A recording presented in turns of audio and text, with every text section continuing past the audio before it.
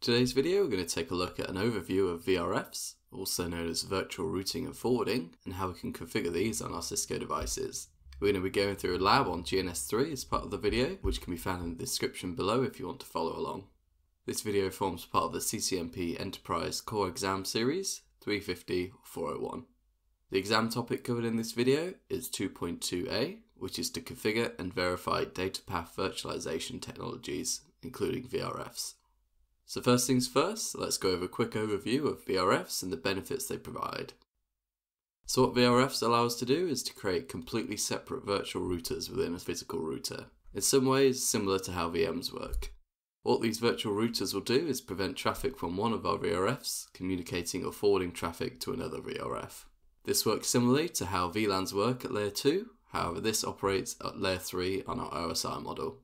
By default, without the use of VRFs, our routers use a single global routing table, which contains all of our routers interfaces and routes that we've learned or added statically. With the use of VRFs, we can separate these out into separate virtual routers and completely segment them. Finally, there are two ways we can implement VRFs. Most commonly, we use VRFs for MPLS deployments to separate and segment customer traffic at the core of our ISP and allow the overlapping of IP addresses and subnets across multiple customers. As this isn't covered as part of the CCNP Enterprise exam, we're not going to be taking a look at this. Instead, we'll be taking a look at what's known as VRF Lite, when we're not using VRFs with MPLS. Before we go into the configuration of VRFs, let's just take a look at the benefits VRFs provide. First of all, each VRF allows us to maintain a completely separate routing table, which in turn allows us to use overlapping IP ranges. Secondly, the use of VRFs allows segmentation between our interfaces, subnets, and routing tables. So to help explain VRFs as we configure them on our Cisco devices, here's an example of the topology we're going to be using. Here you can see two customers. In this example, I've just called them customer A and customer B, both of which are connected to our ISP, and both of these want to use the same subnets, 192.168.10.0 slash 24 and 192.168.20.0 slash 24. Now I've gone over the lab, let's go into the configuration. For this, I've got the lab set up already in GNS3. If you want to follow along with this as we go, the lab can be found in the description below. So here we are in GNS3, and you can see our topology on the screen. You can see that we have our two customers, both of which have two routers connected to our ISP. We're using serial links for customer A and fast Ethernet links for customer B, just to make it a bit easier to differentiate between the two on the ISP router. First of all, I'll bring up our console window and connect to our ISP router. Before we start any configuration, I just wanted to show you that our customer A routers already have IP addresses assigned to their interfaces, but customer B doesn't. The reason for this is that without the use of VRFs, our router will reject the use of overlapping subnets until we configure a VRF. If I show you that now by trying to configure an interface on one of customer B's routers, we can see that we get an error stating that the IP address we're trying to use is in use by serial 2 slash 0.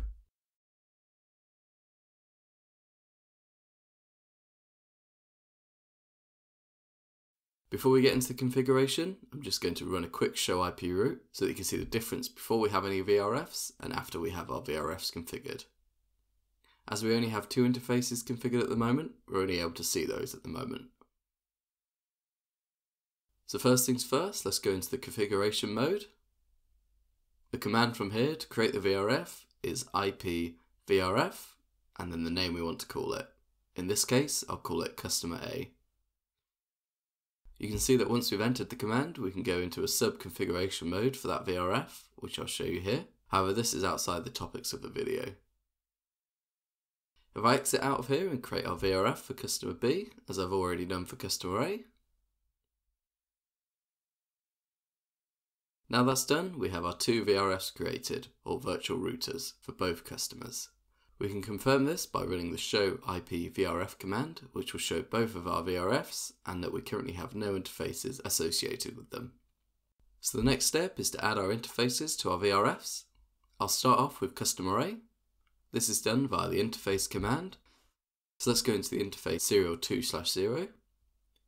The command we then need to use is IP VRF forwarding and then the name of the VRF we want to use. In this case, customer A. You'll notice that when I enter the command, it removes our IP address from our interface. This will happen if we have an IP address assigned to an interface we are adding a VRF to. The interface has been added to the VRF, however no longer has an IP address as you can see here. All we need to do is reconfigure the interface with an IP address again,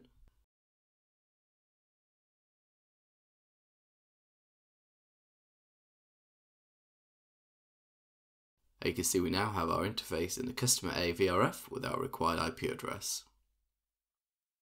We can confirm the interface is in the customer A VRF by exiting out of configuration mode again and running a show IP VRF command.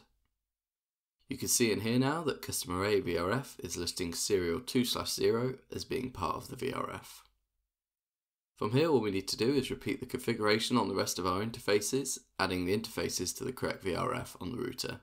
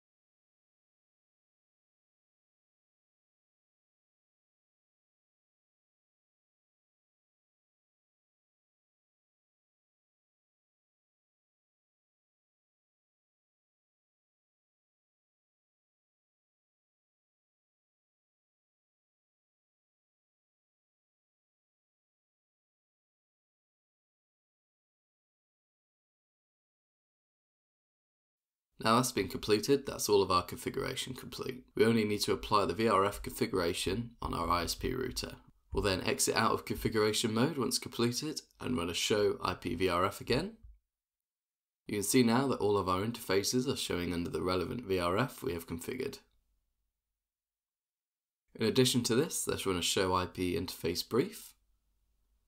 From here we can see that we now have overlapping 192.168.10.0 and 192.168.20.0 subnets configured on both of our customer networks.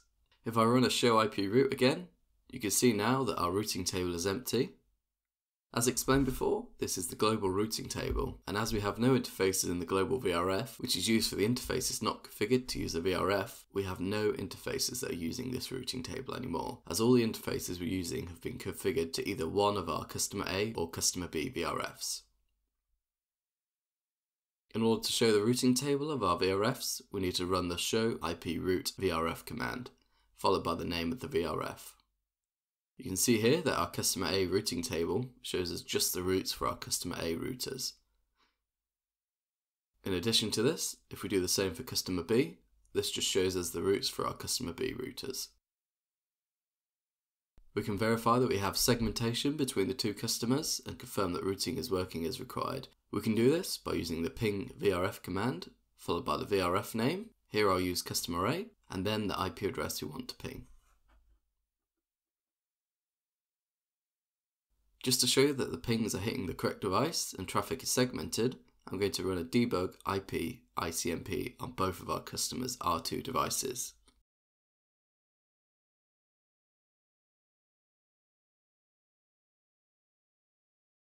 From here on our ISP router, I'll then ping customer A's R2 device